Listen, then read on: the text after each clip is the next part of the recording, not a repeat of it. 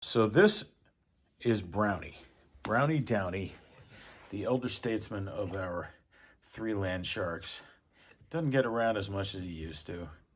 But on the glorious occasion of the one month anniversary of the Dodgers lifting the trophy, for Thanksgiving we thought we would put on him a doggy Dodger t-shirt. So Brownie's been rocking property of Los Angeles Dodgers baseball all day.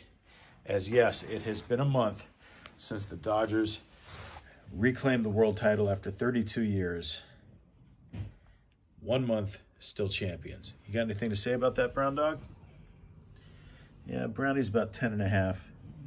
Presuming the shelter was being straight with us when they said he was two when we got him. But uh, he'll be 11 next April, best we can tell. Oh yeah, and the Dodgers are still champs. All right, until next time.